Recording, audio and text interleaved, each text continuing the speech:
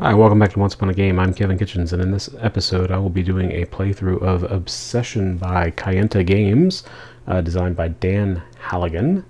Um, this has become my latest obsession. Uh, it is a worker placement uh, game for one to four players, uh, and you are a you play a family uh, in Victorian England who is uh, penniless and trying to rebuild their reputation. So um, through a variety of events that you host over a 16 round uh, game.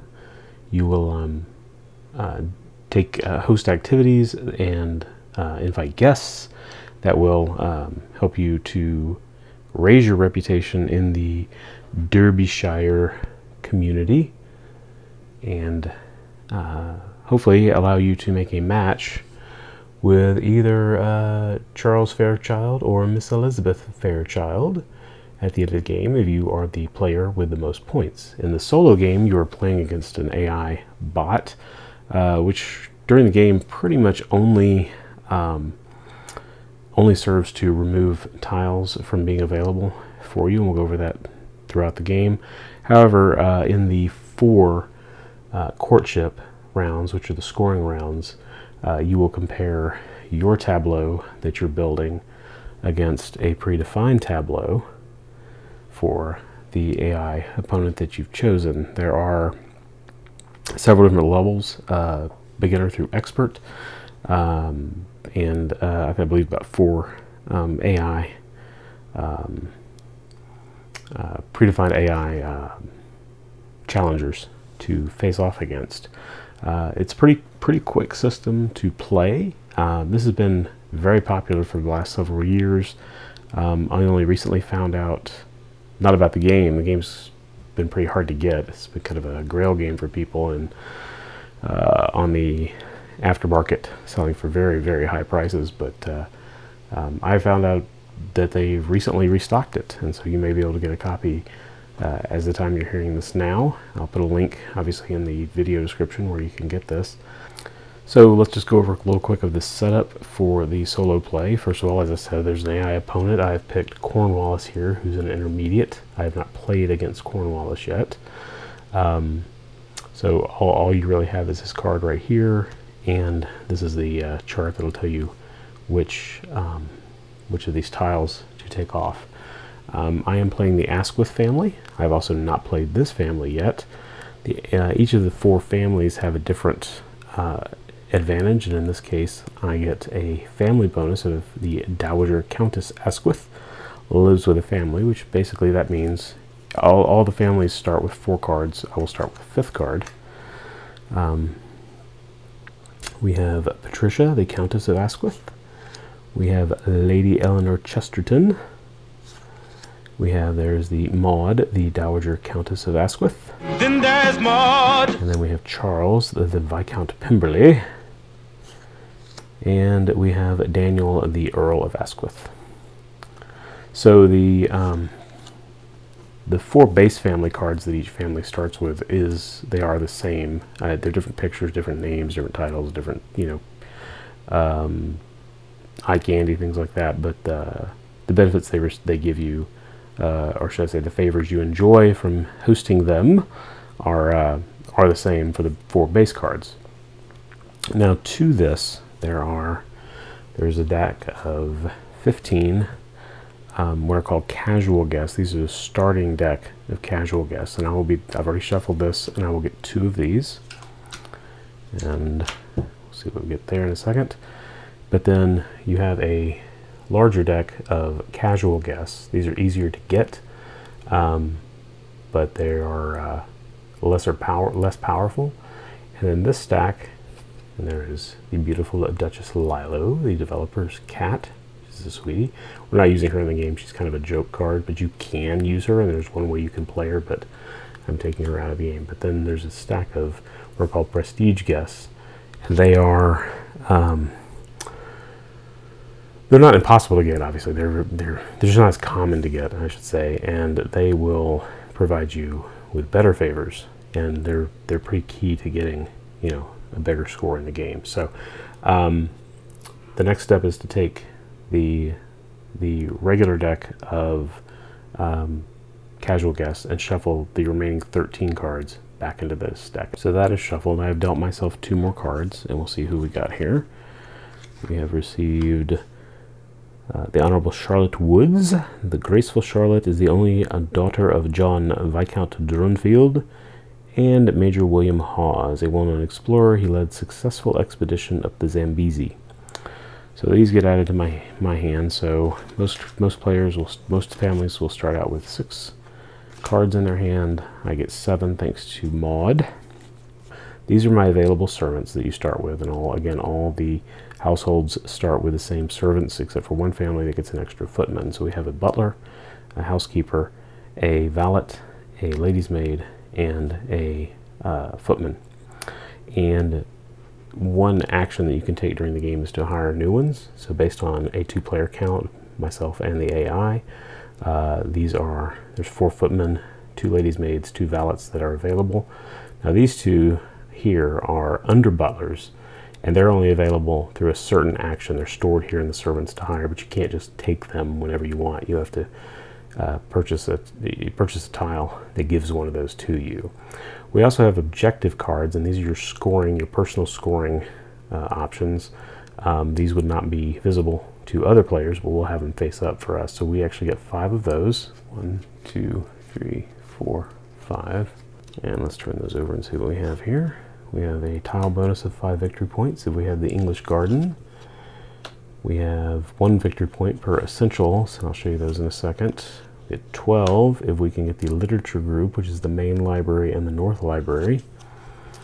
We get a group bonus of 17 if we get the gentleman's group, which is the hillside kennels, the billiards room, and the cabinet of curiosities. And finally, our scoring card is a group bonus, the Epicurean group, the breakfast room, and the north dining room. So those are our personal goals that we're going for. So how the game basically works is, like I said, you're going over these rounds of 16. You have three building rounds, a courtship phase, three more courtship, three more courtship, three more final courtship, and then you total total the scores. There are special events that are that'll happen as we get to them. I'll show you about that. And uh, there's a couple of extra special things that happen at certain points. Now this represents our estate, and all the families start with these same five tiles. We have the private study, the butler's room, the main gazebo, the front parlor, and the bowling green. And you'll see they're under these four different, or five different categories, sporting, prestige, estate, service, and essentials. In this bag here, we have a lot of other uh, uh, tiles that will be drawn out, put into the builder's market where we can, as we build our reputation, build our money, we'll, we'll play them into our, we'll, we'll buy them, and then we'll put them into our country estate to add improvements to our estate. So we're playing over four seasons, you know, social seasons. This is our country estate. We're trying to build it up and again build our reputation uh, as we build our estate. Um, each of them is worth a certain amount of points, and some of them start negative. And then you notice on each one there's a event in white or a activity. So on the bowling green, we can host bowls. Two ladies can play whist in the front parlor. Two gentry, which is any of the cards, can play can have an afternoon tea in the gazebo. The special tile, the butler's room, is where the servants are hired. So you with your butler, you can hire two servants from the supply. And then the private study is village fair planning and requires two family. Now those are those special cards that we had at the beginning that have the family crest on them. So we only can attend those with family. Uh, the gentlemen and ladies are fairly obvious. And then the, like I said, the gentry is anyone who is just short of nobility. So it's anybody in your hand. Um, now what's cool is for example, let's say this one's worth negative two points. Well, there's no way to get rid of this tile per se. But once you host a, host an activity, and we'll go through that in a minute, I'll show you, but um, when we play the game, but when you host the activity, you'll put it here, and when you put it back, you get to flip it over. And when it's flipped over to its rose side, that's the more powerful side, and that's the side it'll stay on in most cases until the end of the game. And as you see, we went from negative two to two points. So that was a four point swing And then our activity changes to an afternoon tea, who we can invite, and then our reward, our favors, will change based on, um, you know, the new side. So, um, if you were playing multiplayer, for example, this one doesn't really change for solo. I mean, you'll flip it over. Uh, you will get points. It goes from zero to one.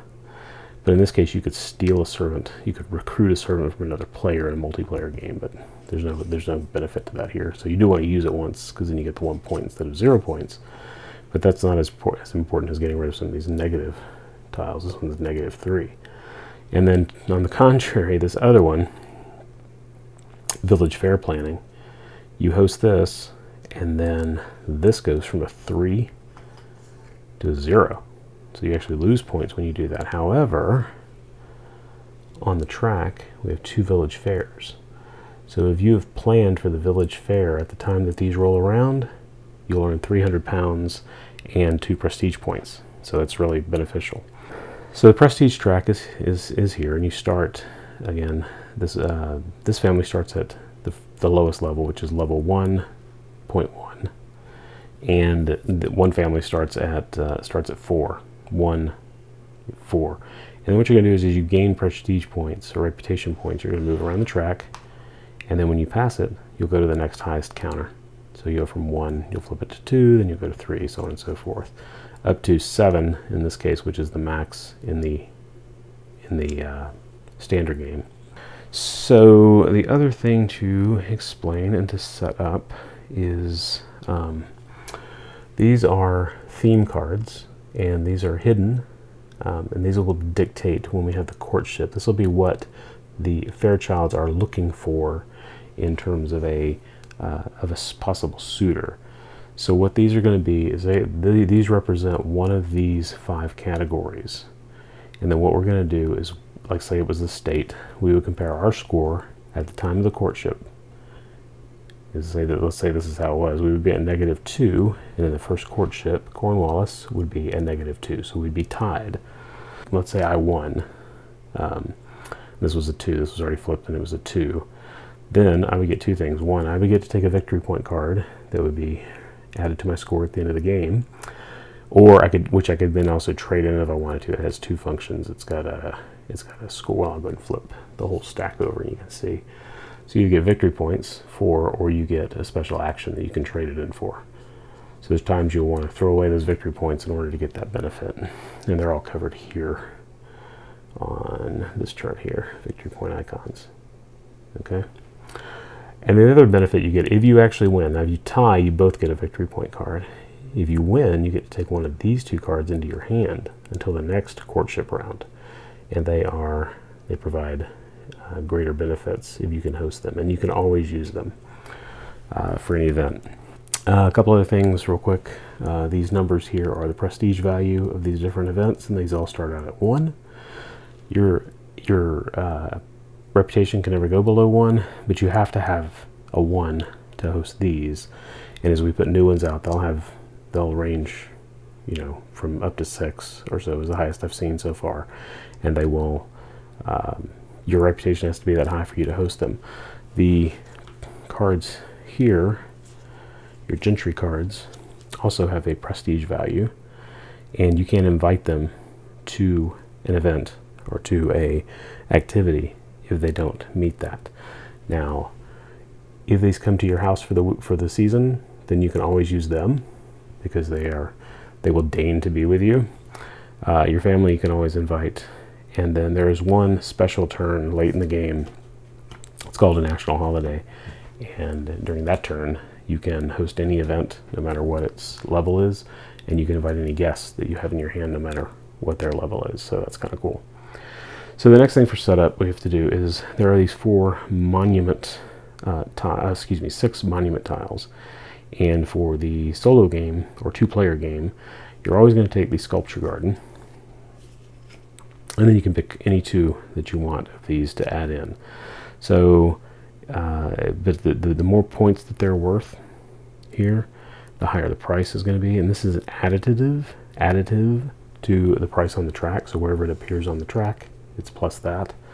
So I usually always just try to keep it simple because I've never gotten a monument yet So I tend to just take the ones with the lowest increment. So I'll take the largest wine cellar and the big trophy, big game trophy room. And I'm not personally into hunting or wine, but what the heck, I'll throw those in there. These just sit out for the game. And put them over there with Lilo. And we will put these into the bag. So one thing that's recommended for these tiles is you're going to put them in a bag and you're going to shuffle them quite a bit. And so you can get 52 by 52 millimeter sleeves, which I've got on order, but I didn't want to use for this video anyway because they'd be kind of shiny. Um, the same with the cards.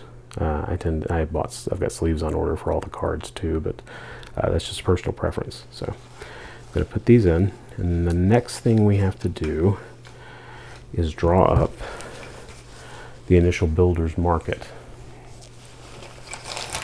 And so I'm going to shuffle these out. Now there's only certain tiles that can uh, stock this, the builder's market for the first turn of a game. And we'll cover those. They have to be level prestige 1, 2, or 3. And they have to be, there's certain service rooms that are allowed to be in there. So anyway, I'm shuffling them up here and we will see what we get. Alright, so we got the Servants Hall. Servants Hall is not eligible. And then we have the Queen Suite, that's a level 4, so that's not eligible. I'm leaving off to the side because there's no point in putting them back in yet. Alright, and that's the Great Hall, it's level 6, it's not eligible. And then we've got, okay, then we've got the North Dining Room, so that one is eligible, that's one. We need six tiles total. And that's a two. That is the breakfast room. Oh, and look at that. Epicurean uh, bonuses. So those are out immediately, so I need to go for those. All right. And then we also have the Servants Hall, which is not allowed to start. Once the first turn starts, any of these can be drawn. It's just this, they, you know, to prime the pump, they want to keep them reasonable. All right, there's a three. That's the Hillside Kennels. I believe that's one of our target items. And then uh, North Dining Room twice. Now this will come out. There are duplicates of some tiles because in a multiplayer game you would want them both. So we'll stack that there.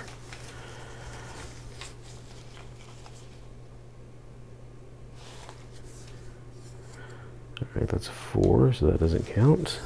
And that's one I want later, so hopefully it'll come out during the game. Alright, English garden. Oh, there's two English gardens. Wow, I've not had this many draws to get the starting tiles. Alright, there's a drawing room. And it's a three, so it can be in play. And finally, hopefully, we will get the brushing room, and that is that is eligible tile. So that's a service tile. Alright, so we've got our six. We'll put these back in the bag. Alright, so on each tile is this little small number 55, 5, 80. Oh, wait a minute. We need one more tile. I realized that I had this duplicate and I was counting it as one of the six, and then I ended up drawing the other breakfast room, but then we did get the tennis court. So now what I was saying is on these uh, tiles is a small number here, and this is the sorting number, and you're going to basically just put these on the board in the from lowest to highest.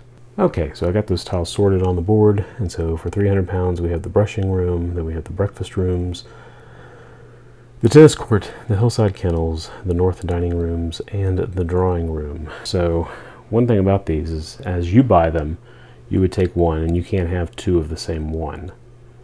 Okay, but if the AI clears out one of these slots, both of them get cleared out of the game. So it's kind of unfortunate that the dining room and the breakfast room that I need are both uh, in play at the start of the game. Because uh, one of, or both of them, there's a 33% chance that one of them's going to get knocked out here. The setup is complete, um, and we will start playing. Hey, if you're enjoying these videos, be sure to give us a like and a share. Don't forget to subscribe and click the bell. One ringy dingy. So the first thing we do is we move into turn one, which is start.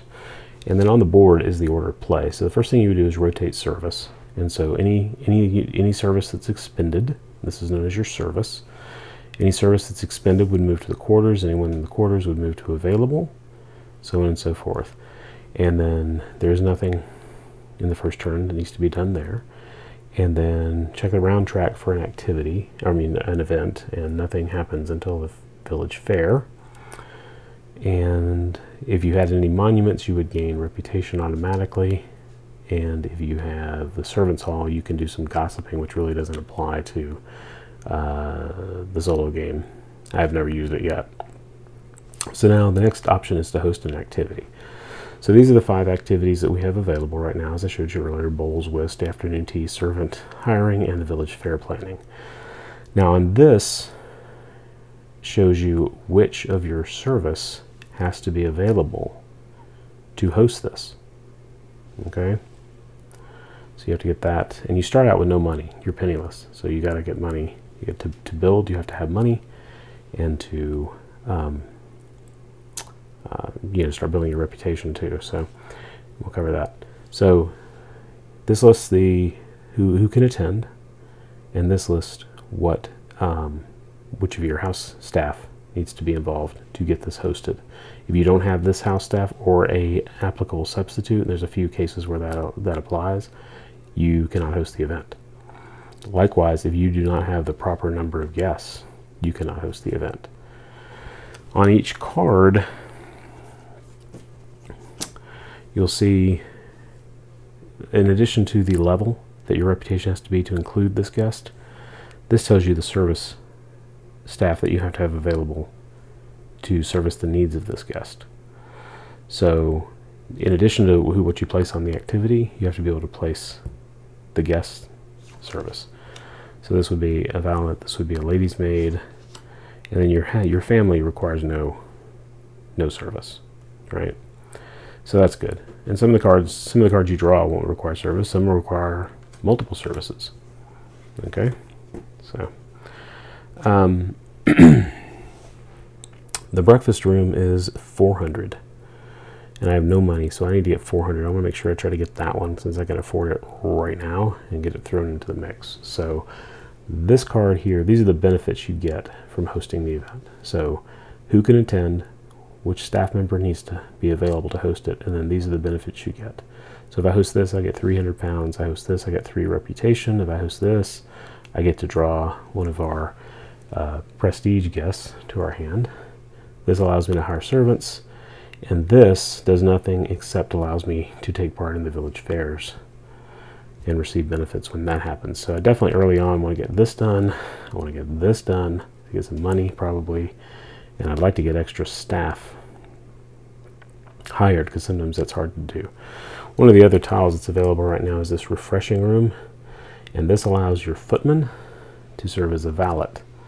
So if I were to only have a footman available, he could serve as the valet if there was no valet available. So that's cool. There's another tile that I like to get if it comes up that lets me draw somebody that's from the servants' quarters. They can come early. So um, almost all the games I've played, that's come out first, and this one didn't come out this time. So I think we're going to host this one. We're going to host the bowls, try to get some money. All right, so to host this, I need to have my footman available. And then I can, um, I'll lay them down so it's easier to see on the overhead. Um, and then I've got to choose two, uh, two gentry to attend. so looking at my cards, uh, I can have Daniel, the Earl of Asquith. He will come in and he'll give me 200 pounds. I'm going to include him, I think. And then uh, he doesn't require service. Uh, Charles the Viscount Pemberley will let me have either 100 pounds or increase my reputation by one. I think I need to get that track going too. I did, was fortunate enough to get um, two draws that give me reputation increase. So I think I'm going to go ahead. I'm going to hold on to my lady because there's some good car, good activities that require ladies. So I'm going to use Major William Hawes and invite him. So as you see, we host the activity, we invite our guest, and now the guests are invited. And now the next step is to provide service. No service required here, and a valet is required for Hawes. So once that's done, the next step is to enjoy favors. So we will enjoy our favors. We have 300 money here, plus our 200 money gives us 500. We'll just take a 500 right here, put it on our board. And then uh, this allows us to increase our reputation by two, so one, two. And when that's done, we can now buy from the market. So look at the market um, options here. I'm going to go ahead and take this one for 400 pounds, and I'm going to put my 500 in, take my 100 change, and grab my breakfast room. So now when you grab, when you get a new tile, you put it in face up, the initial side face up, and you put it in the column that you it goes under. So now I have the breakfast room available, so we can break our fast. Uh, two gentry, but I can't I can't host this until excuse me four gentry. This is really good for getting a lot of these favors into you at once. Um, but I can't host it until I get my my reputation up to to two. So so I got my work cut out for me. Um, but that's the end of my turn. Um, I bought from the market. Oh, excuse me. Now, normally when you buy from the market, if this had emptied, we would slide everything down and replace this with any with the first one we draw. But in this case, we didn't empty the space, so it'll stay until the AI removes something. However, we do have to now clear our board, and by doing that, all the service that we used goes into the expended box. Our guests go into our discard pile. Keep my hand face down. And this now returns back and flips over. So one thing is this is now gone from negative 2, negative 3, excuse me, to 2, so I just had a 5 point gain. But the hosting bowls again is not as thrilling, so it goes down to only 200 pounds the next time. So, but the net result is we've got the money and we got the one room we wanted to get. So the AI is actually very simple take this 20 sided die, we roll it, and we got a 2. And what would happen here is if there were a monument turn, and all that means is there's a monument available, he would use this column. But on, on this column, and on a regular turn, he just is going to 2, is going to take position 1.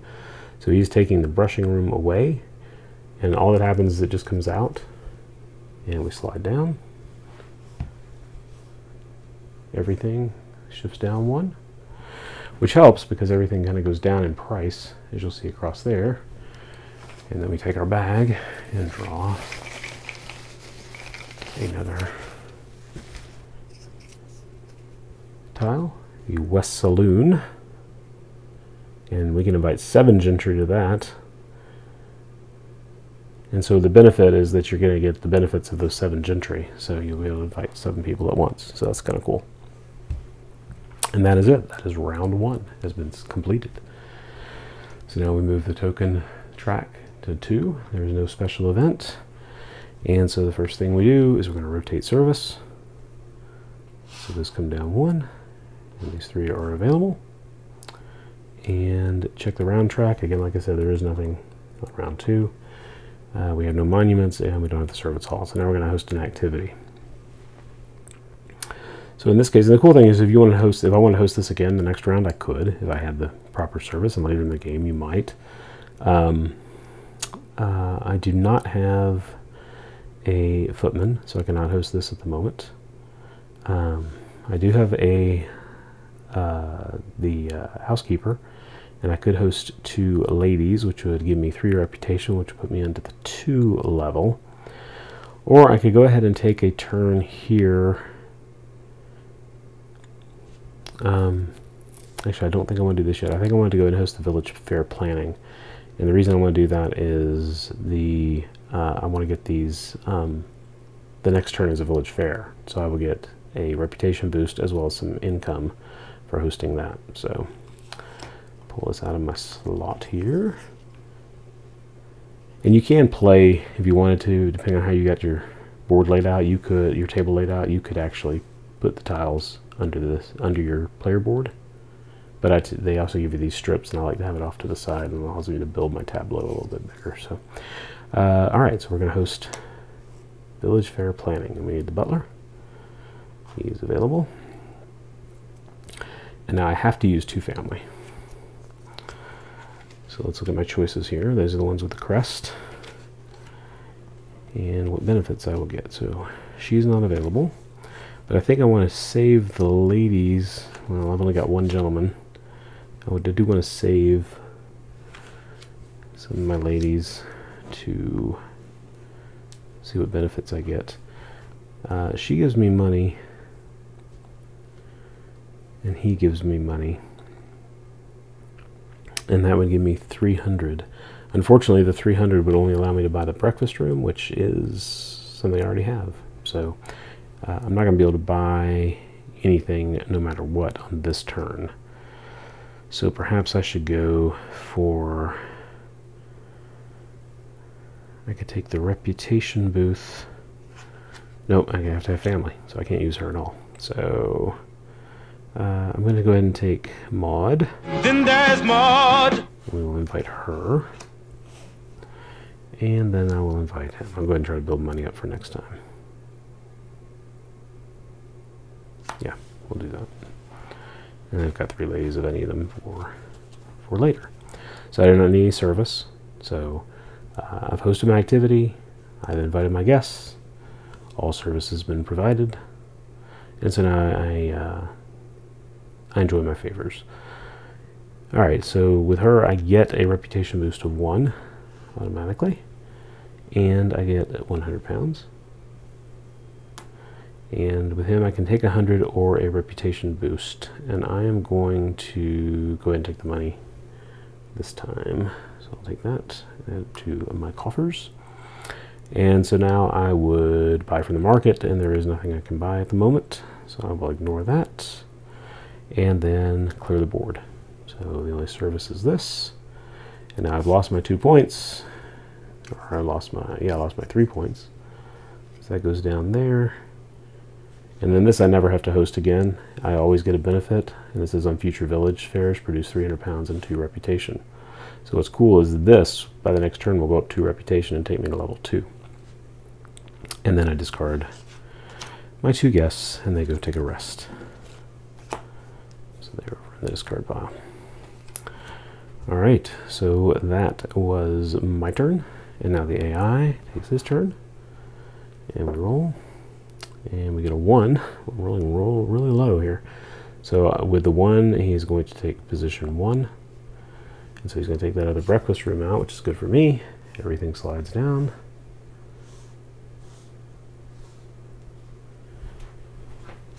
And then we draw another one out of the bag.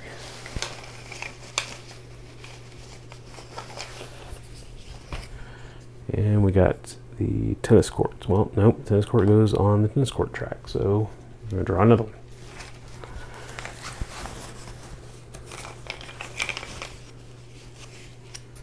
All right, and we got servants' quarters. The servants' quarters, uh, it costs an extra 100 pounds based on the slot it's at, but I can deploy a servant from the servants' quarters uh, as I go. So that's definitely something I like to do, is be able to it gives me more flexibility. I can only get one, but at least I can get one. All right, so that's uh, round two is over. So now we come here, and the first thing we do is rotate our service. They come over, this happens here, and we check our round track. Ah, it's now a village fair. We are going to get 300 pounds and two reputation. So I'll take the 300, add into my mix. And then our reputation goes up two. So we go one, two, and we've crossed over. So that puts us at level two, which means we can now host this event. Now, one thing you may be wondering is, so for example, this needs four gentry. Well, I only have three, and I haven't drawn any cards yet. How do I get these? Well, you can take a you can take a pass turn where you do nothing. All your servants come across. They skip all the steps. They jump ahead to this, and you get to take your cards back in your hand. So, uh, and and then you also get two hundred dollars or two hundred pounds, excuse me, to be correct. Uh, and that you know that's a, that's an option, and it, and it will happen quite a few times. So, in the in the rounds.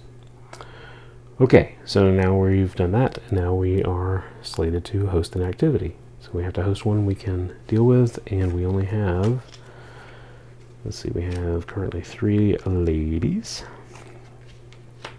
And we need uh, a lady's maid, so we have her available.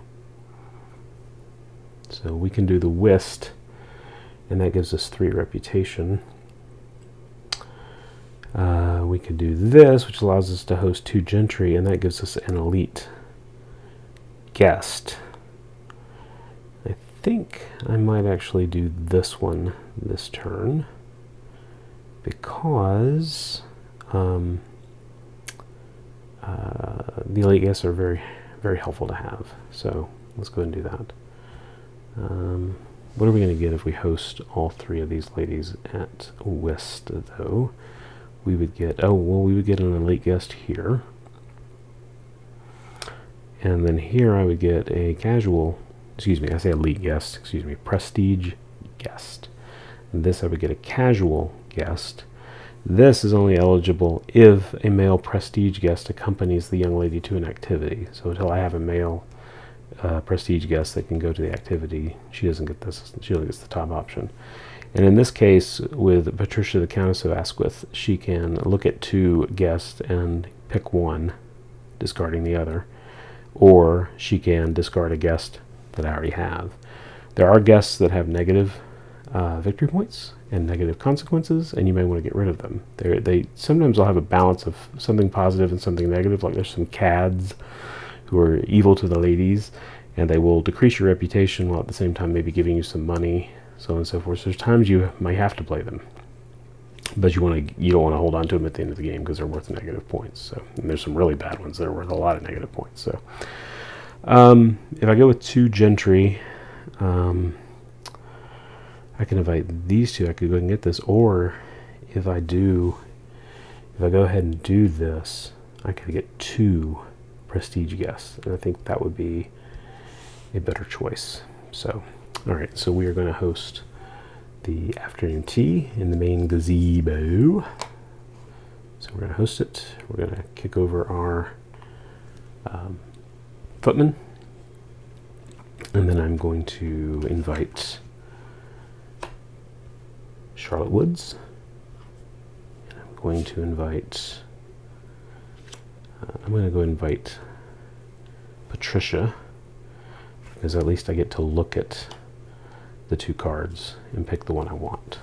So all that's left all by herself is Lady Eleanor. She'll stay with me. Okay, provide service. I need to provide a lady's maid. I have one right here.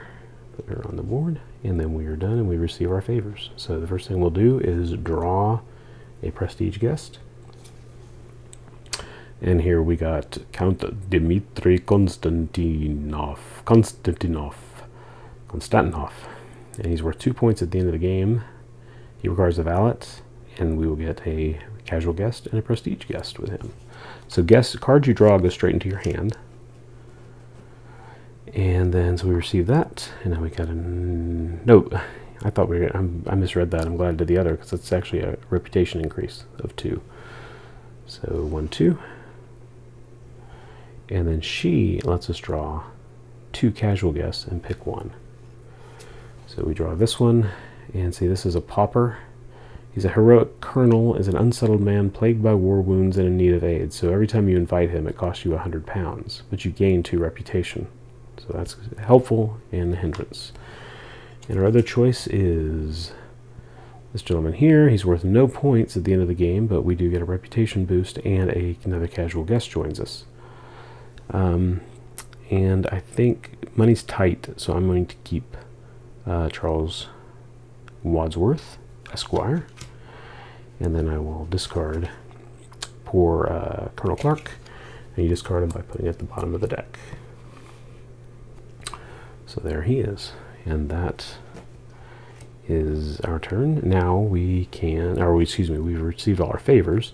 And now we can buy from the market. So the north dining room that I want to have is 500 now. And I have 600 money 600 pounds at the moment. I could buy the drawing room. I don't really want to pay 900 for that one. And actually something's going to happen in the next couple of turns. As long as that doesn't remove away, he'll get that will get real cheap really quick. So I'm going to hold off on that one as well. I think for the sake of the nine victory points, I'm going to go ahead and claim my north dining room. And I'm going to pay the 500. Pop that in, grab my north dining room, bring it over to my list. And I've met that, so that's really helpful. And now I clear my board. He comes, footman comes to expended. The lady's maid takes a break here. Excuse me, my butler is still there. And then this comes back and flips. So this goes from negative 2 up to a positive 2. And the guests are taking a break. So now, that was my turn. Now the AI is going to take their turn. And we rolled a 12. And a 12, there is no monument, so a 12 removes position 4, 1, 2, 3, 4, and the drawing room is removed. Everything shifts down. And we draw a replacement tile.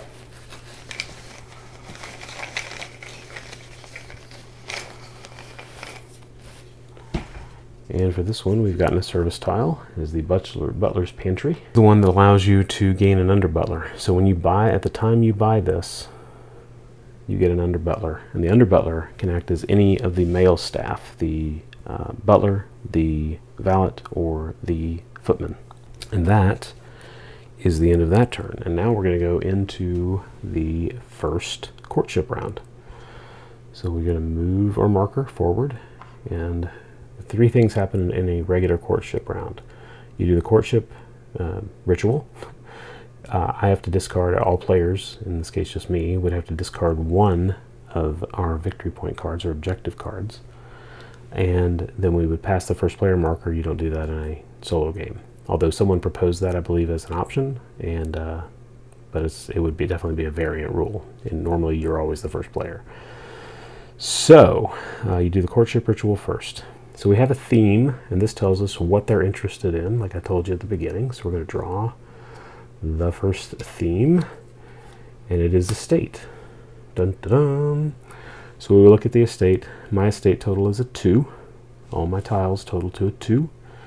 And on the card, his estate total for season 1 is a negative 2. So we win. Us. So I'm going to take uh, Miss Elizabeth into my hand and she will be with me for until the next courtship ritual and maybe beyond. Uh, and then I get to draw a victory point card. Now these would normally be kept hidden, but I will reveal them for us. So I get four victory points at the end of the game, or I can refresh all my service if I really desperately need it. I can get all my service moved back over. And that is it for the uh, courtship ritual. Now these stay out I will build, I, I build one, two, three, four, so then you can see them all at the end and, and you track them because the final courtship handled a little differently. It's, it's these three plus one more, but then it's the aggregate total of all of the, uh, the columns, even if they're duplicated. So that's pretty cool. And we got five at the beginning. There are other um, uh, there are other ways to receive through cards and through uh, through victory point cards. You can receive a um, some more objective cards, but you will also, in this round, you get to draw two objective cards, and you hang on to them. And then in the next courtship round, you're going to get rid of another one, and another one, and another one. So you're going to you're going to really be narrowing down your what you think you can score. So so now I have to get rid of one of these. And which one do I think? So I'm building up essentials already. I've already got three, so that one's still important to me. I don't think I'm going to get this gentleman's group. Those are harder to get. Um, the libraries aren't out yet. I technically could get the Hillside Kennels. It's out right now. But that uh, that Curiosities is pretty pretty hard to get. I know it's worth a lot of points, but I think I'm going to go ahead and just get rid of that since I have to get rid of something. So you take that one, and again, like everything else, you just put it at the bottom of the deck. Because chances are it's not going to cycle through again. So now I've only got four victory point cards. And that is it for, for the courtship round. You don't get to refer, you don't do any service movement or anything. It just stays just like it is. And then we're going to go to round five, and I'm going to start this because you see here beginning service tile reserve. So what that means is we have these service tiles that are available right now. So we're going to pick those up and immediately take them off the board and put them over in the service tile reserve. These are available for 300 plus their cost differential. So that's what I was saying. Those are going to drop really quickly from 7 and 800 pounds down to 300 plus their differential. So that's really good. And unfortunately, you can only buy one per turn. But the good thing is the AI can never clear those. So they survived, and now I can get them as I have funds, which is really helpful. Uh, there is one turn late called the Builder's Holiday, which means as long as you have enough money, you can build as many of these as you want in one turn. But that's only one turn. So, uh, and then we have to fill that back up. Now, at the beginning, at the after the second courtship phase, we're going to have the PR1 tile reserve, which means any tiles that are here that have a 1 prestige rating will go here, and they'll also be 300 plus or minus their differentials. So that again is helpful because it gets the lower stuff out and the higher stuff available, more available. And anytime we're drawing to fill, any service tiles will go there, any one tiles will go there. After that doesn't start till after season two.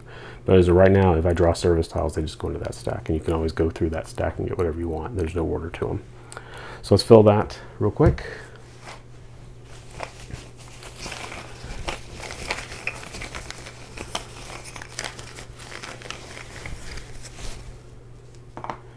There's the main library, and I believe that's one that I'm trying to get. And then the Lionheart Suite. Now this is really nice. The Lionheart Suite is a very special room because it, it costs 200 extra. So you have the money, you grab it, because then when you when you play it, all you need is the butler to play it. You need to be at level six, prestige level six, to to host it, right? But when you do, you draw top prestige guest. You add them to your. They immediately are. They're the only ones that that take part in the suite, and you double all the favors that that card gets you. So you don't know what you're getting. You're going to take whatever by random, but you play it immediately, and then when you're done, that goes into your discard pile. You have that card, you have double the favors, and then this converts to a monument, which gives you prestige every turn and six victory points. So it's a pretty cool, powerful little option. All right, so now it's turn five. So, um, start off by moving our service across, rotating the service. There's nothing happening on the round track this turn. Um, so one thing I like to do uh, when I've won either uh, Mr. Mr. or Ms. Fairchild is to maximize uh, how I use them. So when you use them, they're going to go in your discard pile. So I'm going to try to use them this turn, and then this turn will be a pass. I'll pass on this turn to get everything back and can maximize what I do with them. So that's going to be my goal for this. However, I don't have much in my hand at the moment, and since we're only at level 2 of our reputation, I can't play this fine gentleman. So I have a choice between Miss Fairchild and Sir Wadsworth, or Miss Fairchild and Lady Chesterton. So since I'm going to get all my servants back at the end of the pass round, I think I'm going to go ahead and use maximize the use of the servants because she doesn't require any service. So that means I have, I'm probably going to play two gentry or a man and a woman. And let's see what our choices are here. Um, if I play two gentry, I can get 200 money, which would be enough to get a tennis court. It would not be enough to get um, any of these because they are all both are plus 100 and so that would be 400 and I've only got 100 and I don't want to give up any more reputation to get another 100 um, I could play two gentry here Um, what would a tennis court get me? It would be a minus one to start, but then I could I could use two gentry on it to get 300 in another round. So that is something to consider. Um, if we go here, be a minus one, then I'd have to flip it. He is at two. Right now we're tied, so when I take that minus one, I would definitely need to flip it before the next courtship round, uh, which would basically dictate that that's what I'm going to end up playing. I really want to play this to increase my prestige when I get all my cards back. Um, so I don't want to go lower than him. Um, cannot play this yet because we're not at three yet. Uh, I can play. I can't play this with four gentry because I only have three in my hand of four that I can play. Um, I could play this now. I could play this one since I'm not going to be able to purchase anything I want. I could play this and increase my reputation to start with. So I think I will play that. So this is the service we're going to host, the activity we're going to host. And I need the housekeeper to provide service for that event. And then I'm going to invite the two guests that I uh, know the whist is two ladies, so I will not be able to invite this gentleman. I will invite, however, uh, Lady Chesterton and Miss Fairchild. So now to uh, provide service. So, oh no, I cannot do that because I don't have that card, that uh, room yet that lets me take her. So roll this back. You have to be able to pay for the service that you use. So we will just go with our initial plan and um,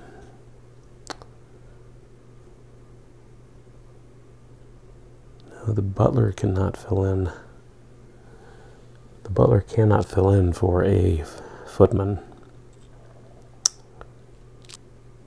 Oh, I'm so used to having that available to me. I forgot that I had not acquired it yet. So I am not in very good shape at this moment in time. I may have to pass on this first turn, and I really don't want to do that. I could use my butler and hire two new servants. So I guess that's going to be my choice, which stinks because I don't get to use, I don't get to maximize my use of her. I backed myself into a nice little corner there, didn't I? All right I cannot play this, I cannot play this, I could play this, but then I don't have... She can substitute for a lady's maid, but if I use her for the other, then I can't use her for this. And I don't have anybody to play that one. I don't have enough gentry to play this one. Um, yeah, I'm in a... I'm in quite a pickle here. Alright, well, uh, looks like I've, like I said, I've backed myself into a corner. So we will play the butler's room and I will send the butler there and then I'm going to uh, hire two servants. I don't have to invite any guests. I don't have to provide any service. So we skip straight past that, and now I can enjoy the favors, which is to hire two servants from the supply. So I am going to. What are the two options here? We do not have the one where the um, there's another there's another tile that comes up that lets uh, the footman take the role of a valet, which can be helpful. So I'm going to take I'm going to go ahead and just take the two ladies' maids. This maybe you know I'm going to take the I'm going to take a valet. So those are the two servants I'm going to hire, and they go into expended to start, which is helpful. I guess this is helpful too because they'll get to be they'll get to come across on the next pass turn. So then we do our purchase, but I only have 100 pounds, so there's nothing I can buy. And um, so the next thing is to clear the board. So he'll come down to here. This comes back. This does flip over because it now increases to one point. So I'm not a negative anymore, or zero. Um, yeah, I'm not zero, so I get one point of service. Okay, and I've cleared the board and that is that is it for my turn. AI is going to go, Turn 5. AI rolled a 12. There is no monument still, so a 12 is position 4. 1, 2, 3, 4. The West Saloon. Move from the game. These slide down. And now we draw a replacement.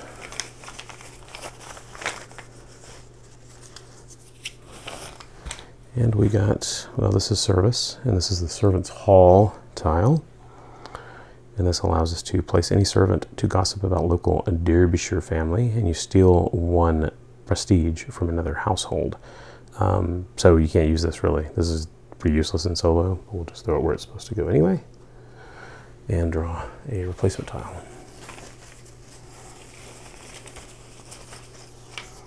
And it's another service and this is the energized service and this is the one that lets you deploy uh, another servant each turn.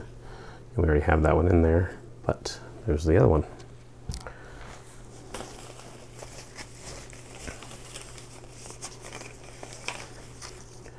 And we finally got one. All right so we got the south lawn. I don't believe that's out yet. And so that goes right there. So that was the AI's turn. And now we're going to move to turn six. All right, so the rules for a pass turn are slightly wonky in that you would normally rotate your service and then um, you know check the round track for an event, which would be that. But technically, the script if you're going to pass, which is kind of like you don't know you're going to pass till you pass, till you get to the choice of hosting an activity. But basically what you do is you pass, you refresh your service, you reclaim your discard pile, you then observe the round track event. Um, if you have monuments or servants hall, you process those, and then you collect 200 or refresh the builder's market, which means you can just wipe that out and restock it uh, if you're trying to look for a particular tile, and then you can shop in the builder's market. So that's the that's the process. So we are going to take a pass turn. So the first thing we do is refresh our service, which means everybody comes across and is now available again. And these work better when they're standing up. That you can get more in the spot. Um, reclaim my deck, so my entire deck comes back to me. It's available to me. Observe the round track event. So the round track event is objective card and the rules for the objective card draw is to draw two objective cards, add them to the ones already in hand. So this is your chance to get new cards. So we have the sporting bonus, one victory point per sporting tile. Probably won't fill that one out too much to be worthwhile. And then an estate bonus. So when it comes time to uh, the next courtship round, we'll have to discard one of these. One of those will probably go. And then the next step is Monument Servants Hall. I do not have that. Collect 200 or refresh the Builder's Market. I am not really too worried about what is in the Builder's Market at this moment in time. So I am going to take the money so that I can buy something. Unfortunately, I'm going to be low on money. Um, but I'll take my 200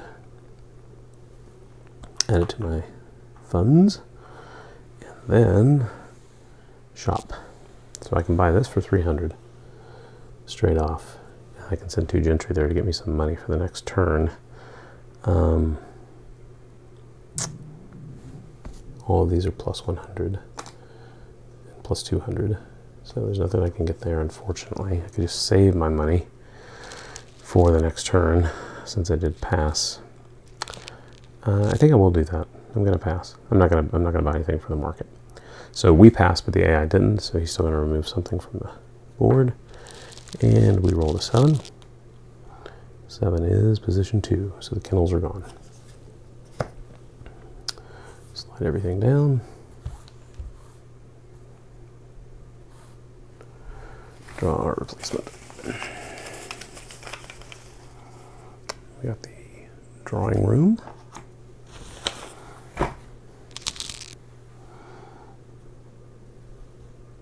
Okay. And that is the end of that turn, moving right along to turn 7. See how fast this actually plays. It's a really fun game.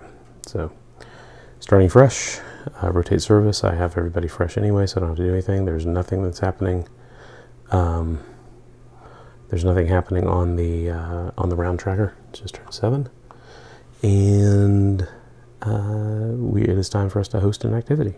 I've got all my all my staff available to me now. I want to get that reputation raised. I'm sick of being at two, so I'm going to go ahead and pull out the. Um, well, I'm only going to get to use her one time, so I can invite for gentry and plus service, I might get some money and some prestige that way. Um, hmm. So she's going to give me two prestige no matter what. So that'll put me up to five. And if she attends with a a male prestige guest, which the only one I have is this three, which I can't use. Um, he would increase my prestige. She would increase my prestige. And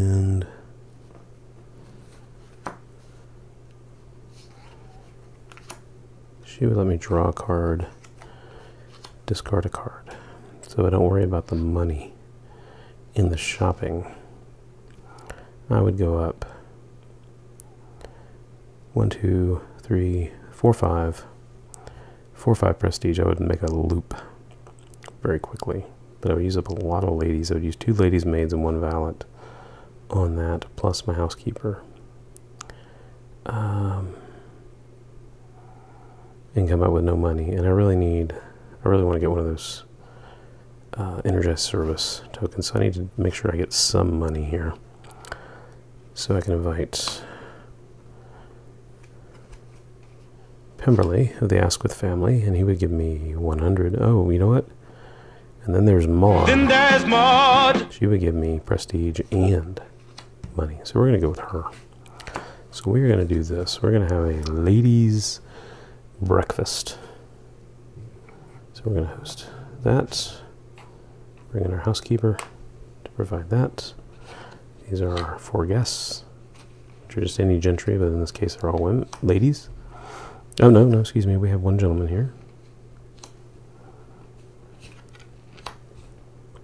Okay, I need to provide service next. So we'll place ladies maid here, ladies maid here, and a valet here.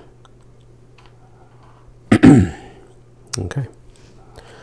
So we have provided service, and now we will collect our favors. So we get nothing on here.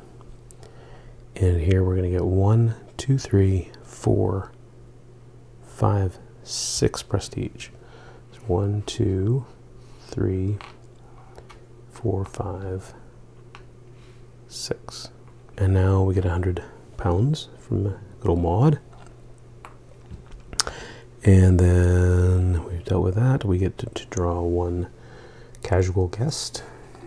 And this is a bad one. The Miss Anne Fairborn. Few speak openly against Anne, but that there have been whispers of an indiscretion. So every time she's invited, you lose a uh, reputation, and you lose two victory points at the end she's in your hand. So I'll have to take care of her. And then uh, Miss Elizabeth Fairchild allows us to draw a prestige guest. and we get Kenneth, the Viscount Ashwood, master of political debate. The brilliant Viscount enjoys lively discussion in libraries and billiard rooms. He provides you with 500 pounds. But we got to get up to level 5. All right, so I forgot to flip this when we made 3, so we're now at 3. So we are now done with the event and we will now go shopping. So I am going to buy the energized service for 400 and I'll put that in my slot and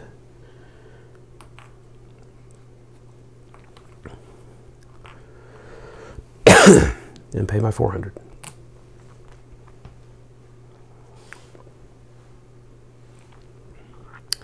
So now that our buy from market step is complete, we'll clear the board. Put all our service into expended.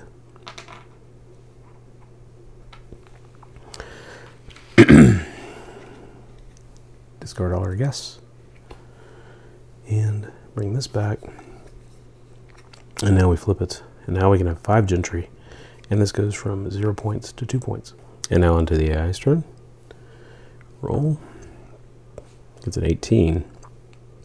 Now, 18 is does no purchase. So when that happens, when, when you get a 16 through a 20 on either uh, column, he doesn't clear anything out from the AI, from the uh, builder's market. But then how that works is it's just like he, just like us. We didn't buy something a particular turn. He didn't buy something that turn. So the good thing is then um, on his next roll, it'll be a minus five to his roll, so he'll never not purchase two turns in a row. So what you do is we just put this marker here as a reminder that the next roll will be a minus five.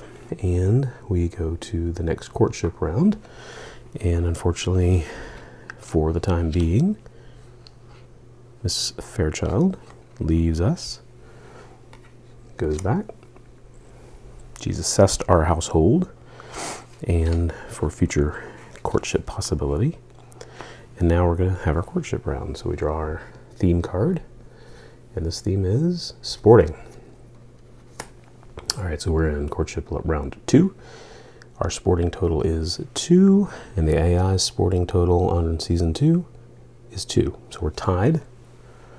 So nobody gets the favor of the Fairchilds, but each of us get a victory card. And since I'm the first player, I'll draw mine first. I got a four, or I can trade it for a a uh, prestige guest. AI draws one, and we're not going to reveal that till the end of the game. So normally I just set it there and leave the marker on it. And now I have to discard one of my uh, objective cards, and I'm more apt to get some estate tiles, so I'm going to just go ahead and dish, dish, ditch the sporting, and you put it at the bottom of the deck. So just like that, we have played another courtship round. And now, before this round happens, there's a PR1 tile reserve, I think I mentioned earlier, and right now there are no Prestige 1 tiles on the board, but anytime a Prestige 1 tile is on the board, it'll go into that pot now. It'll count just like the service tiles go there. The Prestige 1 tiles go there. So it gets the higher scoring tiles out toward the end of the game. So first thing we do, rotate service. So all these come to here. And the good thing is now with Energized Service, I can use one of these from here. Okay, uh, and we are now at a Village Fair space. So the round track is the Village Fair, and the we gain 300 pounds. And we gain 2 prestige, which is nice because it now puts us to 4.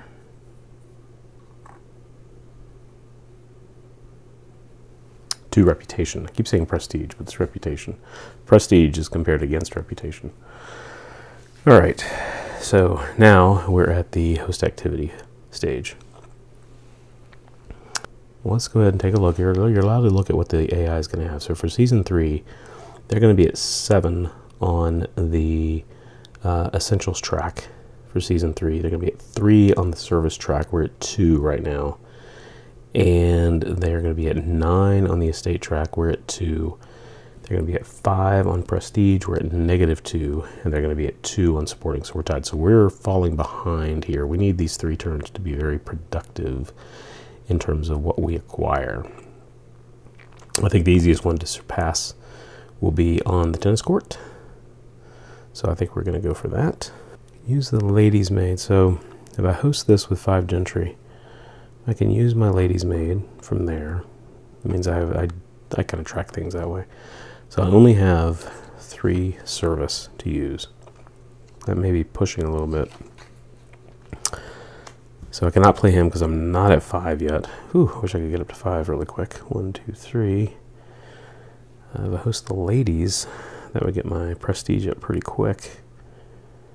I think I'm going to save him to build some money. So let's let's look at the ladies playing whist because it's still going to have my housekeeper uh, serve the event.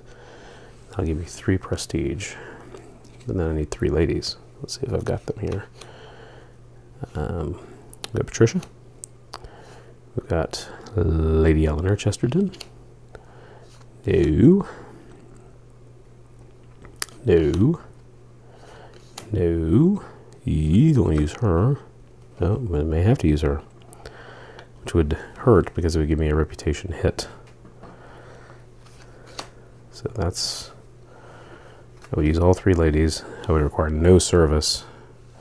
But then I would lose a reputation.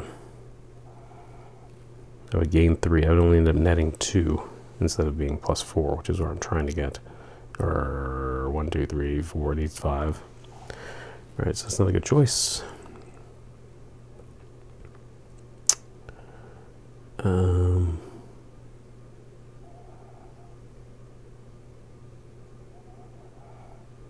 what does this get us if it flips?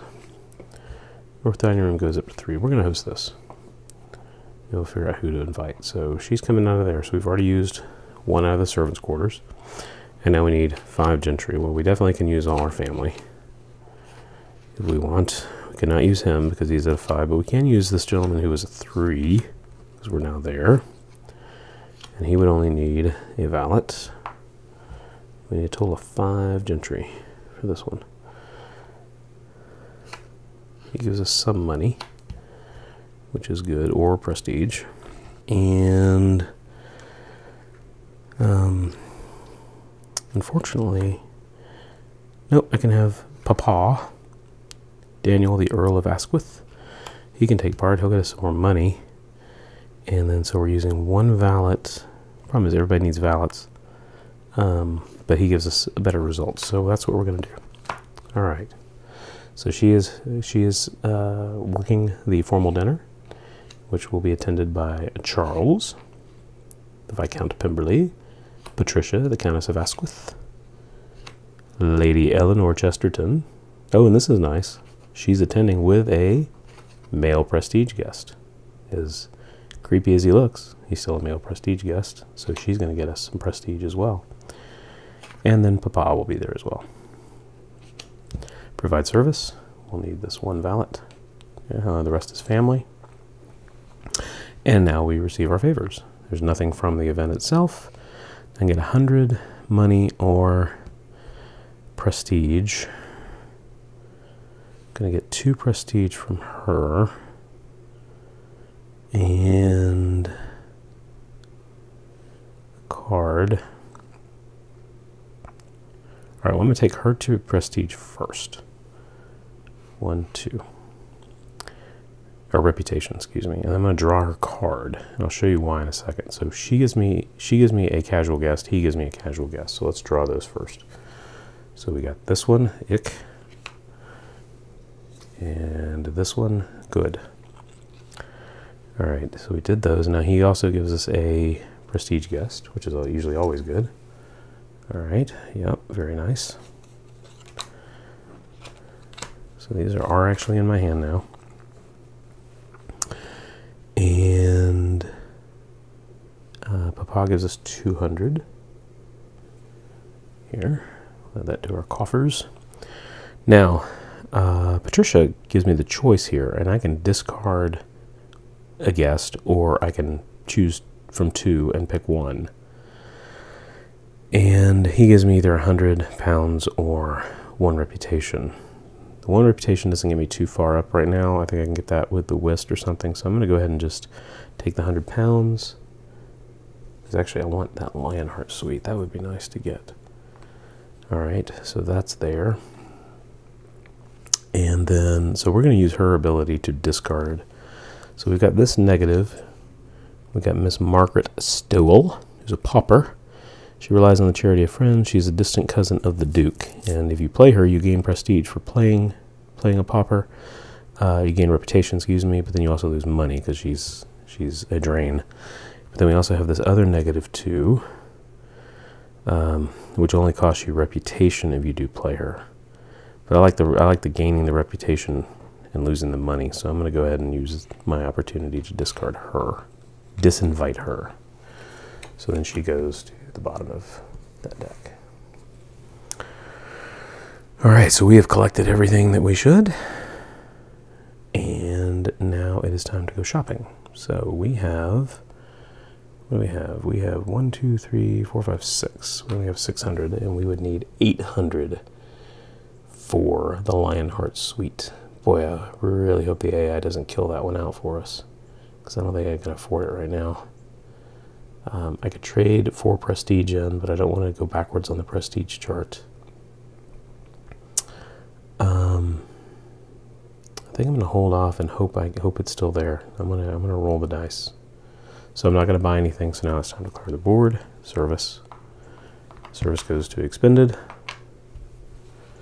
Guests, including family, are all discarded, and your token flips over And you see the north dining room now becomes a formal dinner and you can invite six and it's worth three points. So now I'm at three, two, zero. So I'm at five and he's at seven by the end of the season. So that is my turn. And now the AI. It's a four and it's a minus five. Now they don't specifically say that I found what you do with a negative number, so I just treat it as the first the first slot. So that is going to be position one. We take this away to know that we've already taken the minus five. And we remove position one. Now both of these stone courts go away.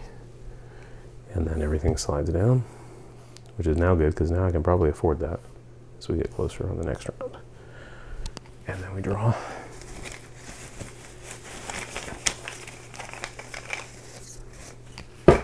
And we got the Long Gallery. There's a lot of prestige in that one. All right, end of turn.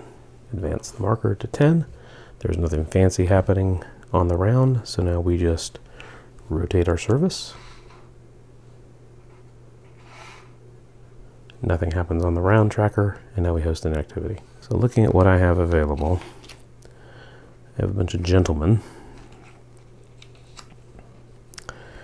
Unfortunately, all my gentlemen require valets. So I can only host something with two gentry and um, this will give me this valet and I can take this valet out of here and then grab one of those.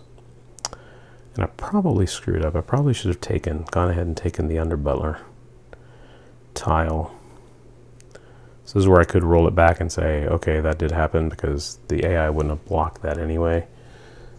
This would have been uh, staff expansion, gain the under butler, which would have been 400. Um, and playing solo, you know, you can do things like that as long as you're not, you know, you're actually cheating. Um, I didn't gain anything by not purchasing. I just kept 400 of my money. Um, but it gains me that other worker. Uh, but you know what? I'm just going to play with what I did and stick it out. But that was something I, you know, if I was playing by myself and not on camera, I would probably go ahead and just roll that back, take the 400 because, again, I didn't, it wasn't affected by anything the AI did, and I didn't block the AI. But nevertheless, so we will go here.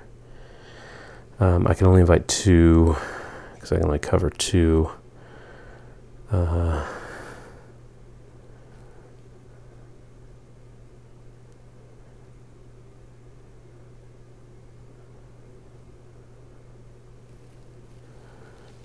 Yeah, I can only anything for three. I can't invite the two ladies for whist. Keep failing to turn that one over. Um,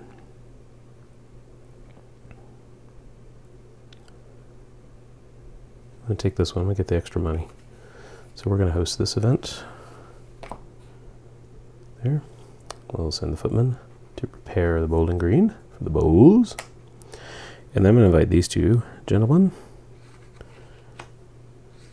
as my guests. We will cover them with valets, and we'll take the one that we can take from there. So this is my hand. And now we have provided service, and now we enjoy our favors. Uh, that's not the one I wanted to invite. I wanted to invite this gentleman who gives me reputation. Sorry, young man. You can wait for the next one. Okay, so here we go. These are the two I want to like. All right, so we receive our favors. We get 200 pounds. And we're going to receive uh, another 100 pounds. A prestige guest. All right, here we get Agnes, the Marchioness of Easton. And she requires a lot of service, but she gives you a victory point card and three reputation. So that's pretty darn good. She goes into our pot. And this gentleman gives us two reputation. There we go. We're now almost to five. All right, now it's purchase time, and I am going to grab that Lionheart Suite for 700. One, two, three, four, five, six, seven. Lionheart Suite goes into our pot, and it comes in at a three, and then it flips over and becomes a uh, monument is worth six, and um, gain your one reputation. But I can't play it until I get to six, or until we get to the national holiday. Hopefully, I'll be at six well before that. All right, so we slid everything down, and we draw the Queen's Suite. And that's what we got on the board. All right, so we bought from the market and now we clear our board. So we're going to take service, put them to expended, discard our yes, return our tile, and this has already been, as you can see, it's already been on the flip side with the rose, so it just goes back the way it was. Okay. AI takes turn. It's two. So he's going to take position one, which is the north dining room. Everything slides down again. Draw a tile.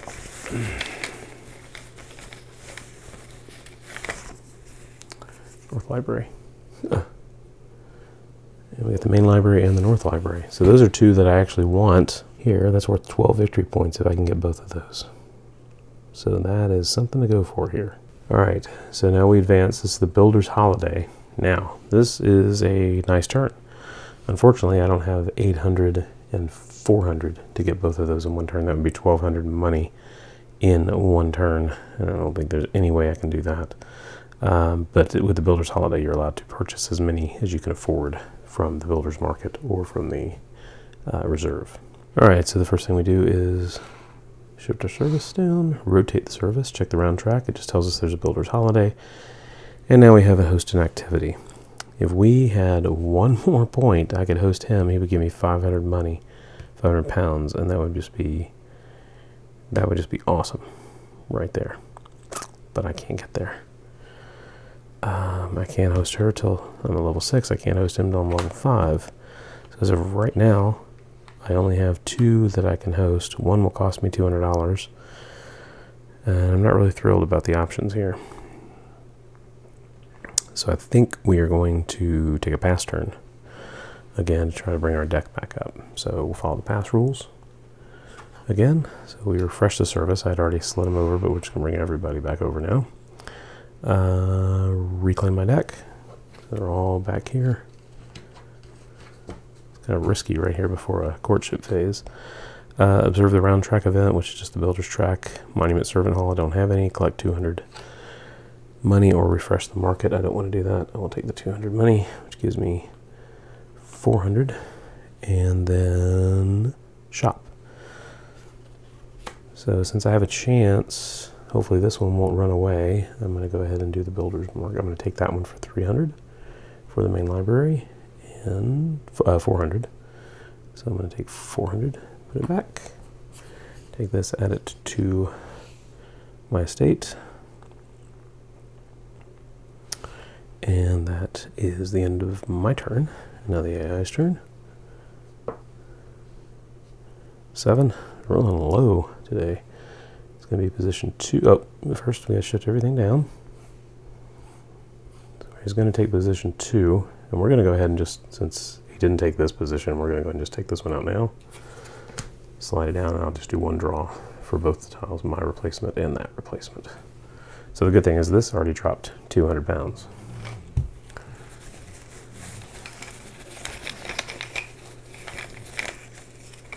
All right, so the first one is stateroom.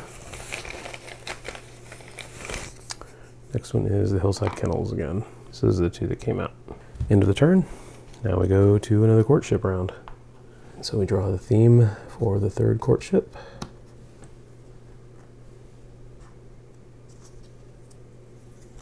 And we got a state again.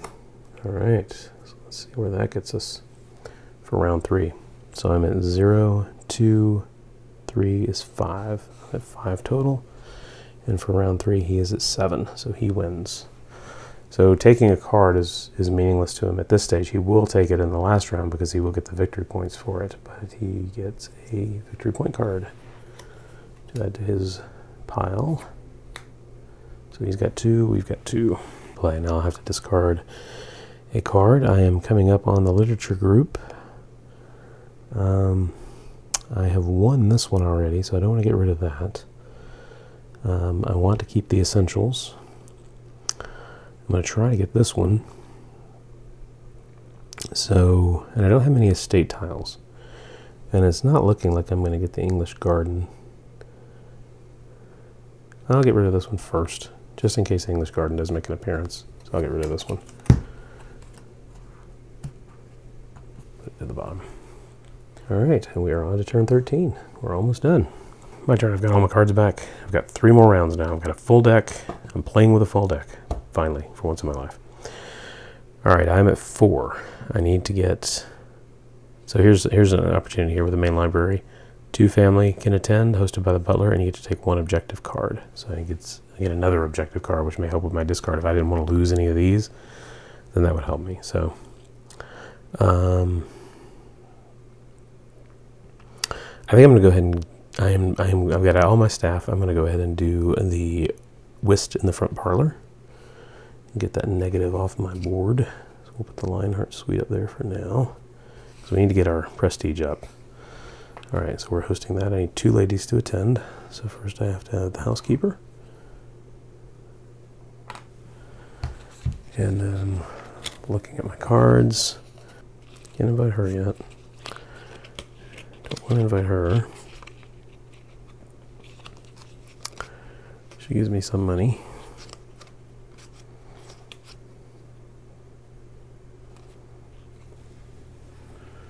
Gives me some money, Maud does. Then there's Maud! Uh, Charlotte Woods gives me a reputation. We're going to drive that reputation up. We want to get to six. So I'm going to invite Charlotte Woods and we're going to invite, who gives me reputation? then there's Maud. Then there's Maud. So that's where we're going with. Those are our two ladies that we're going to invite. We're going to provide service in the form of one lady's maid. And now we collect our favors. So from this, we collect one, two, three, four, five, six. We go one, two, three, four, five, six. And just like that, we've jumped up to five and to six on our reputation. So we crossed the first time, it took us to five, and then the next lap took us to level six. So we're one away from the max, and there's a lot of points. I've never had that high of a reputation so far in the game, so it's cool. Shopping, uh, Maud does give me 100, so we'll take that. But that's not enough to do anything, so I won't be buying anything.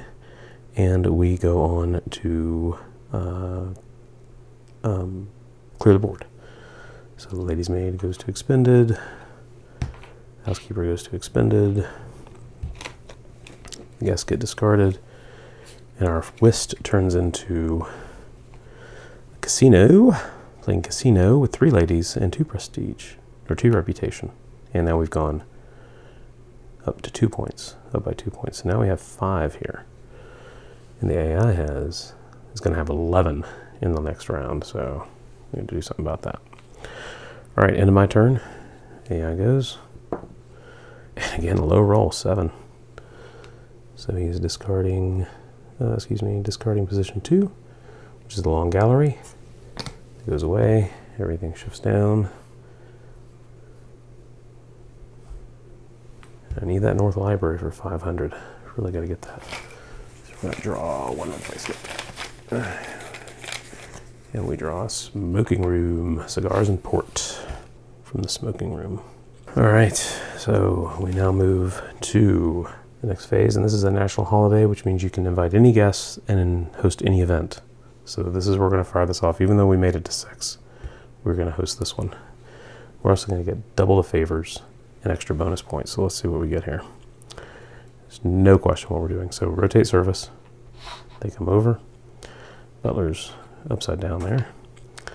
To host this, we do need the butler. The butler is going to provide all the service necessary for this special guest who's now interested in our palatial estate. And to play this, all right, we have the butler provide service, and we draw this guest, and whatever it is is what we get. Here we go. All right, we got Margaret, the Viscountess of Brisbane. The haughty Viscountess is well connected from one of the largest landowning families in Shropshire. So she's the only guest. He provides all the service. Everything is done for this one particular uh, activity. And now we enjoy favors and we get to double the favors. So we're going to get two casual guests. Not one, but two. All right, that one doesn't hurt us. Comes to our hand, gives us some choices. And we get this one, doesn't hurt us. Another lady, gives us some choices. Very good. And we get 600 pounds. So we'll grab a five and a one.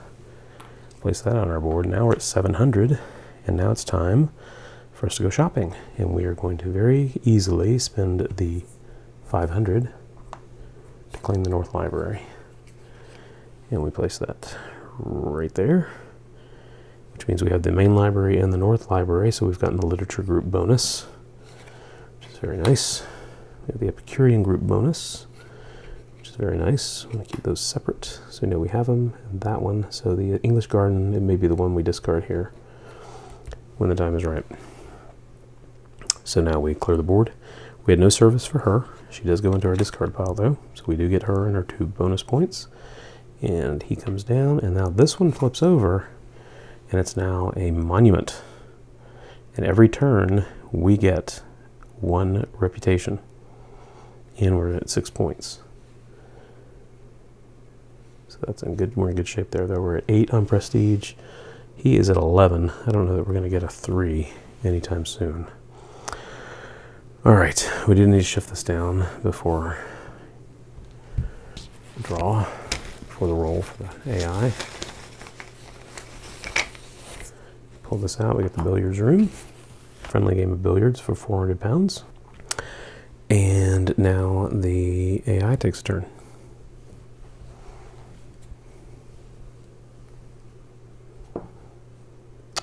Another low roll is a four. Uh, there is no monument on the board, so the four is position one. South lawn leaves, and everything shifts down, and we draw yet another replacement.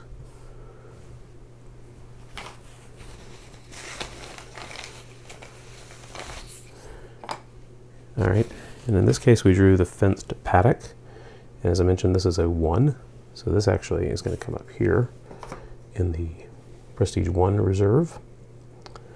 And we draw another one.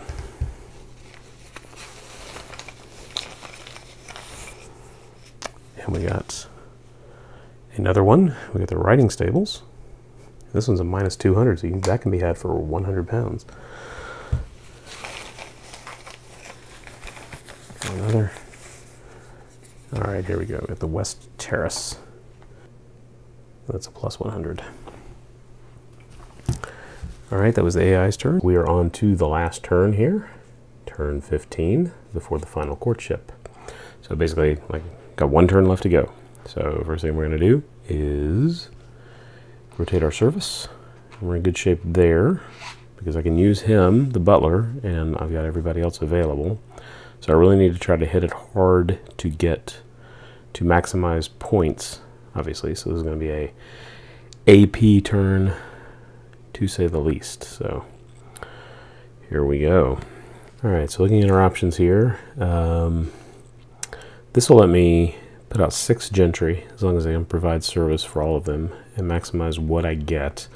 I do have 200 cash. The uh, do they call it cash in uh, in England? Is or pounds cash? Or is that an American thing? That one will give me five points straight up. So I think I want to try to get that one. So I can get 400 more cash, then I can get that. And that would actually put me ahead if the prestige track is drawn. Uh, over here, um, I have I have zero. So I got three. Only got five points. Uh, I'd have to get two more to tie him there. Now, one thing to remember at, for the end game is um, so when we draw this next card, theme card, it doesn't get judged by itself. All of these get judged for the final courtship, and that determines who one of the Fairchilds is going to uh, seek a match with, um, either the AI or myself. So we already know that estate is going to be counted twice. I'm at two on estate. He's going to be at nine, so I probably need to try to build up my state. Unfortunately, there's really nothing here. That'll give me three, because you add up all the points, and that would give me two. Uh, sporting, I'm at two. He's going to be at seven.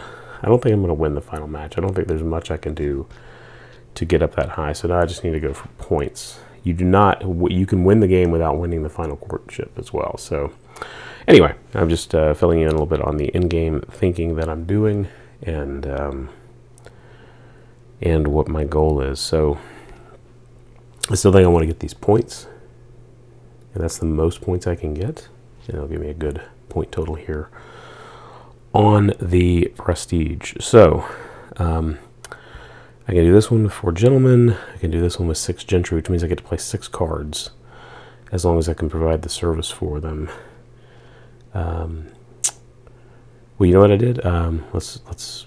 I rotated service. Now I'm supposed to do round track, monuments, and servants hall. So I do have a monument now. So that monument gives me one increased reputation. So I forgot that. Now I need to host my activity. So um, hosting one of these would give me give me more points. That would up me by four if I could host four gentlemen. This will give me a new objective card if I host with two family, and will increase to a five as well. Um, boy, I wish that the one one thing I wish you could do is host two activities. That would be awesome. So four gentlemen can have a political debate, which would flip that over to give me four points. Plus these five I already have would give me nine in case the final column is uh, for the essentials. And that might be good. Um, all that being said, I think um, this would let me do six gentry, but it's already been flipped over. It's already on its rose side. But I would get more uh, favors with four gentleman cards or five or six gentry cards. Got all my cards back except for the few, so let's take a look and see who we've got here.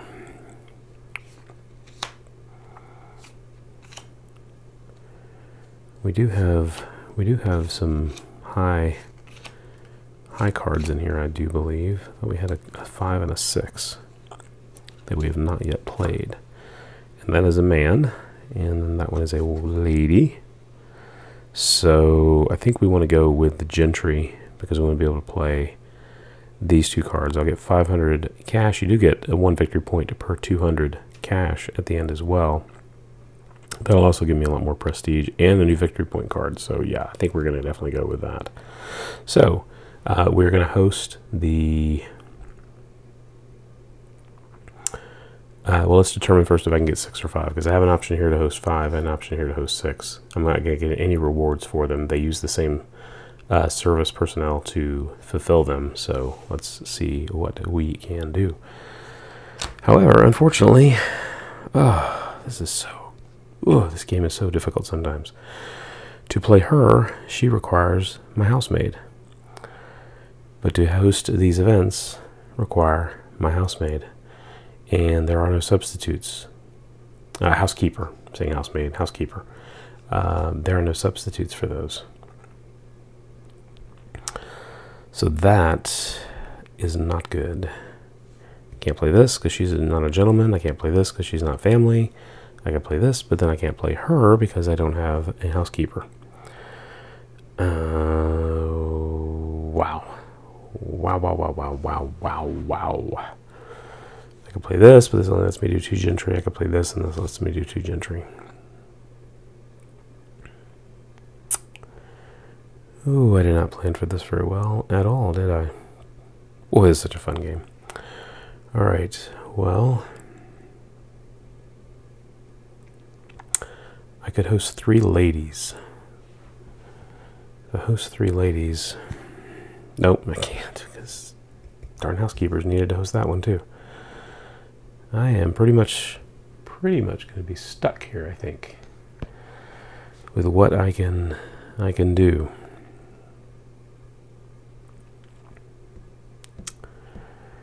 Boy, oh boy, oh boy. All right. Um.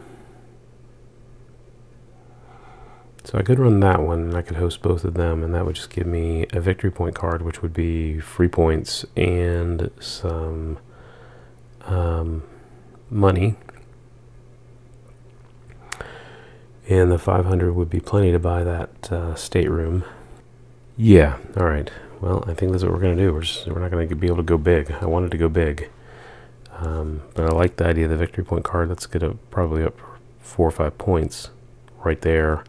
And getting to the max, uh, the max prestige, or the max reputation, um, which actually would not get. I would get three, I would go up three, one, two, three. And that would kill me. But I think getting to the max, let's see if there's something besides the 500 that I could do. Somebody, I'm sure they've got somebody here that would give me some reputation. So I want to, I want to try to get her in here. So he would give me reputation and 100.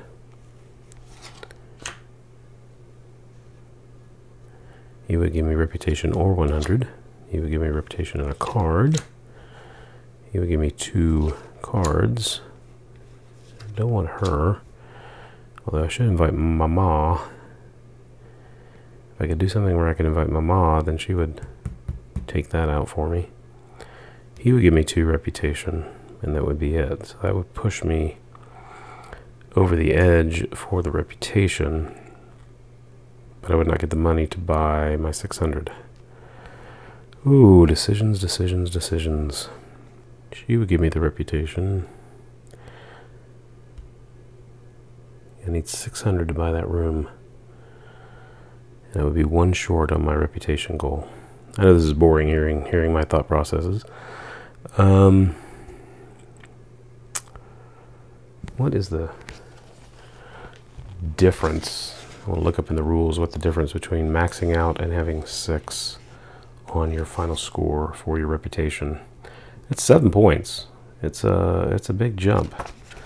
Um, five if I can get that. And if that last um, if that last card comes out as prestige, that might help me in the bid for the final scoring. But I still don't think I'll make it with the uh, estate cards being doubled already. Hmm, which way to go?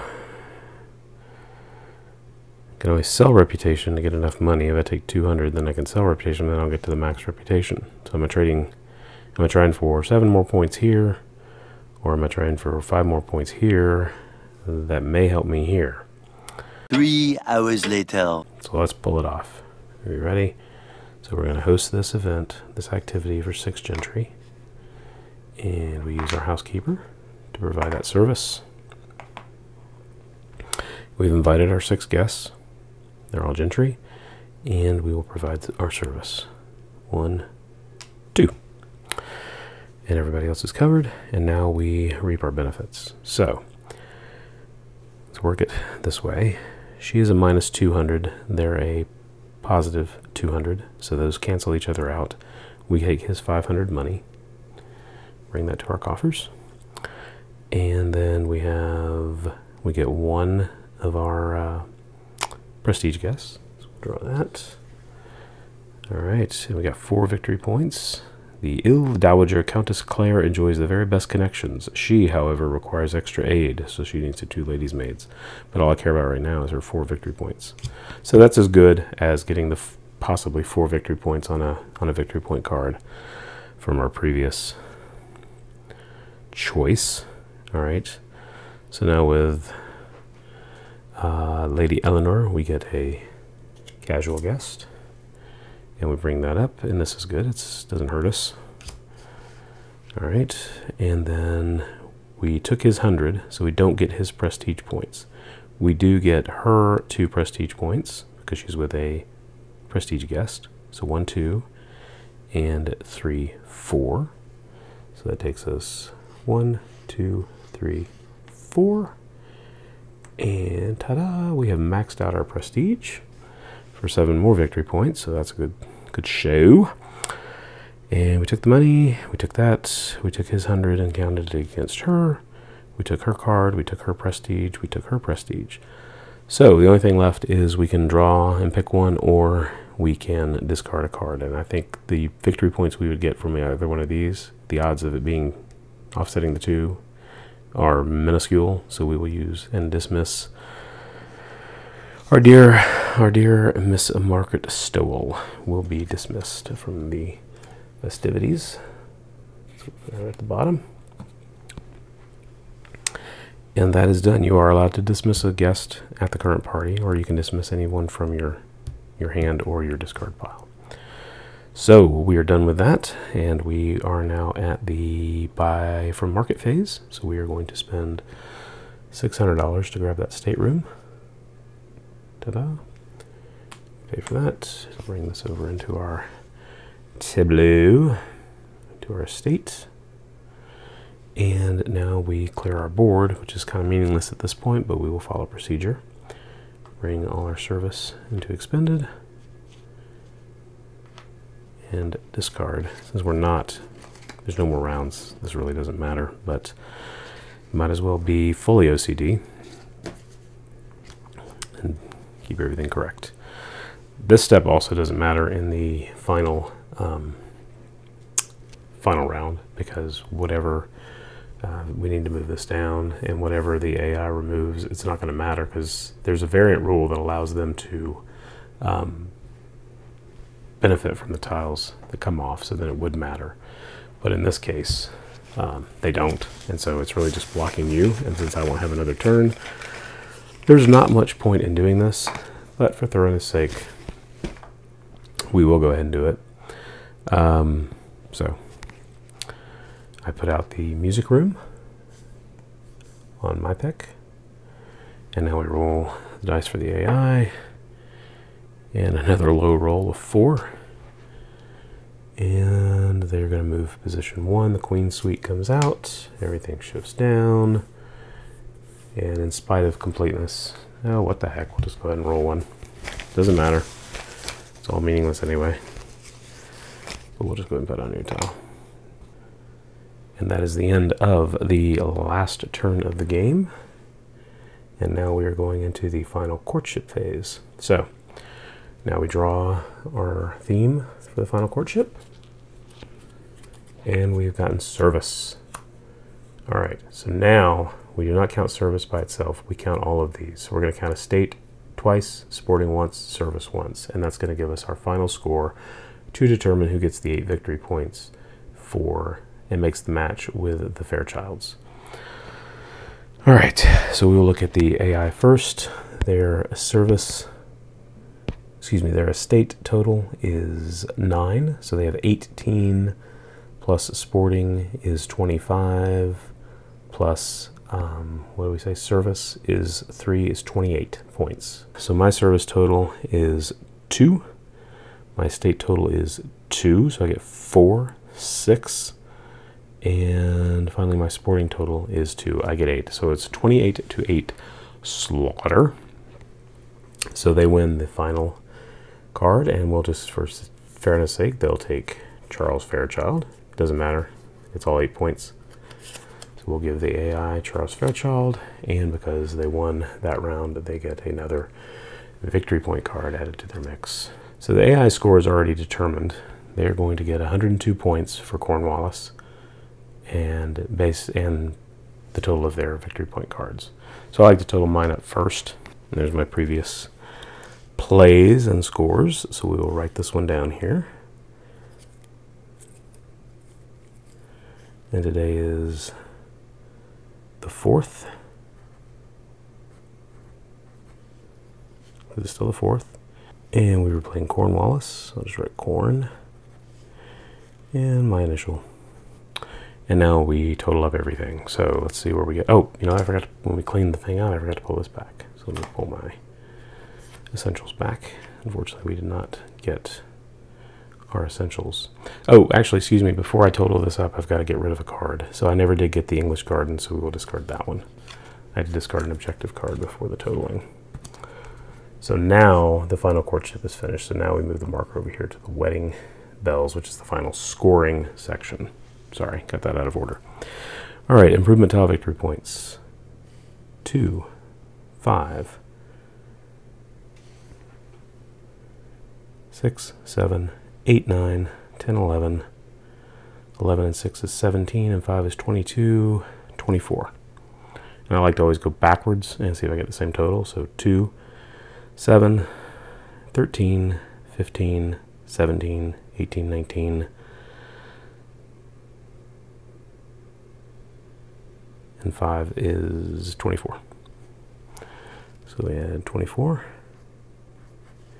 And the Gentry VP, which is the net of positive and minus, we were able to get rid of all the minuses. So I like to sort my cards by point values. These are all the zeros, so they don't give me any points.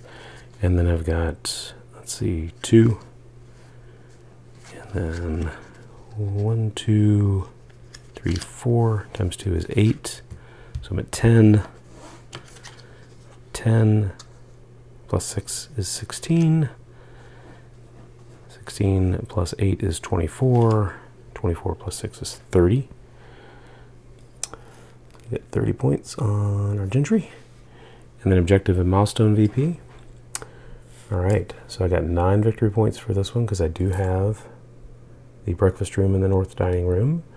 And I do have the main library and the north library. So that is 21 points, and I get one victory point per essentials tile. So we get one, two, three, four, five. 5 plus 21 is 26. And that's my best score on those. So we're at 54 and 26 right there. My reputation victory points are right there. I hit the max. And, and per the chart in the book, that's worth 28 points for hitting the max in a standard game. Right, and then we subtotal this, 54 and 26, that's 80, that's 108. And then service victory points, two victory points per servant. And I have one, two, three, four, five, six, seven is 14 victory points. And then wealth victory points, you have to have 200 per, to get one victory point per 200. I only have one, so I get none. And usually I usually get none he's so tight. So I end up at 122. If I got that right. For my final score. Oh no, excuse me. And then my victory point cards. I'm at 122 now. And then I get my victory point cards, which is 4 and 4 is 8 for a final score of 130. And now the AI has 102 plus, you got three victory point cards. You got a 5, a 4, and a 5. So you got 102 plus 14 is a 116. So believe it or not, I actually won this game. 130 to 116 against the medium AI of Cornwallis using the Asquith family. Pip pip cheerio, good show and all that. Oh, excuse me. Wait a minute. No, no, no. Sorry. He got eight more points. So he got 116 plus 8. He still only ended up at 124. But I want to steer him wrong. He got all his points. I did not add his uh, his points for making the final match and getting his eight points. So it was closer than I thought. 130 to 124. Pretty good. Pretty darn good. So there's lots of ways you can play. I mean, you get this, you can build this up, and have I've had games where I have lots more of these tiles out. Uh, I've had games where you're, you're, trying to get as many servants as you can. You get bonus points for basic servants. The, a lot of objective cards in the deck. I like that. Um, uh, I have not even added the expansions yet. There is a Wessex expansion that adds a another family. Uh, still, it still doesn't extend it to five players. Uh, it's still only a one to four player game. Um, I like it. I like I like it a lot. Some some concerns I have, and they're very minor, and this is just in the base game, is and some people have concerns about these tiles drawing them from the bag that because they're cardboard they can get delaminated. Some people have said they've had no issues with it whatsoever. Uh, I bought some sleeves, like I said earlier, to go with that to uh, to protect them. Um, uh, I don't like these cards. I do not like these cards being so small. so once I see what it's all in the expansions, I'm probably going to convert these because there's basically for the five categories, there's four cards of each. Um, so you could theoretically have all four, uh, which means they're just they favor you know prestige or sporting or estate more than anything else. Um, but you never know until each each uh, courtship round. So that's that's pretty cool. I like that. Uh, I would probably change these to counters. I don't know why they weren't counters. Um, and the same with these figures. They're so small, right? I mean, here's mini cards, and then here's these. These remind me of when I was a kid. I went to Washington in fifth grade and you see these at other souvenir shops. I don't think you see them anymore, where you buy these mini decks of cards, um, uh, little tiny picture, picturesque uh, deck of cards, um, and that's what these remind me of. They're they're not impossible to shuffle. They're just kind of a pain to futz with. So I would probably convert these to some counters with some stickers on them. Maybe print some pl plastic 3D print some plastic circles like I've done before with other counters and the same with the victory point cards. Just transfer this information to that. Um, so I don't like that. Some people have done the same thing. They've made some counters for these because you can sort these based on that uh, sorting number there, the 135 you see on this one. And so they make a token that's this color and 135 and then they draw those from the bag and then just keep these stored in a in a, in a box in order, numerical order. And that's definitely another option. So that's that's about the only flaw I've seen in the design. Um, well, no, there's one more. Personal, personal pet peeve. This is the rule book. This is the, it's, it's very well written rule book, right? But it's that obnoxious, horrible, why did they still make them uh, full size 12 by 12 rule book? It's a nightmare you go through and start trying to flip around and you, you know, it flops all over the table, you run the risk of knocking your components. They give you, in the game, they give you a glossary, which is very nice to define the rules. And that's a normal book. Why didn't they not make this a normal book? That makes no sense. It makes zero sense. You have this. So, so this is sense and this is insensibility. It was, it's the only way I'd put it. But it is very clear to read, very easy to understand, and, and none of these are detractions from actually loving this game. I, I've this is now as you've seen. I played it. I played it four times since I since I cracked the shrink on it, and it's been very easy to understand. Very little difficulty at all. Um, so, hope you've enjoyed this playthrough of Obsession. I know it's gone pretty long. It'll play a lot quicker when you're just playing and not describing and talking and sharing and all this kind of stuff. When you play it solo, it will play very very quickly. Um, the turns go go by very fast you know, adjusting for the AI and rolling a die, not difficult at all. It has enough randomness to it. Uh, I like the randomness of the of the themes that come out uh, each each courtship round. I like the victory point card randomness. I like your objective card randomness. Uh, I like the, the, way the tiles come out and they slide down. I actually like this. This didn't make any sense to me at first, but now it does.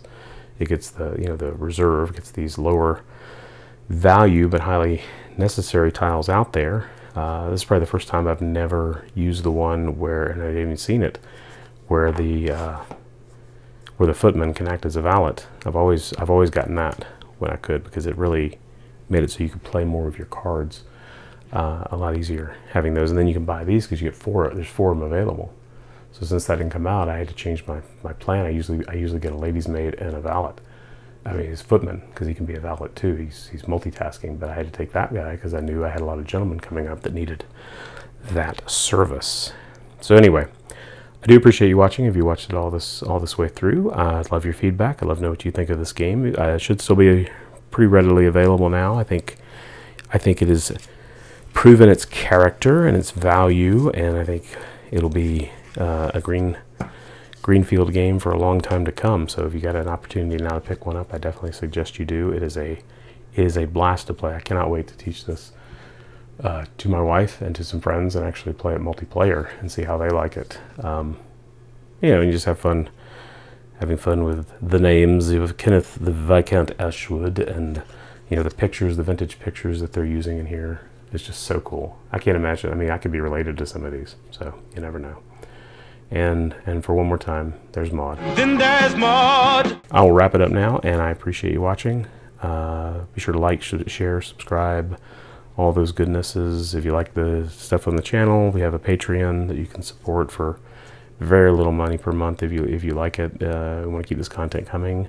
Hope to do a lot more playthroughs as well, and uh, and mess up the rules for everyone to see. So again, thank you so much for watching, and God bless you. Bye bye.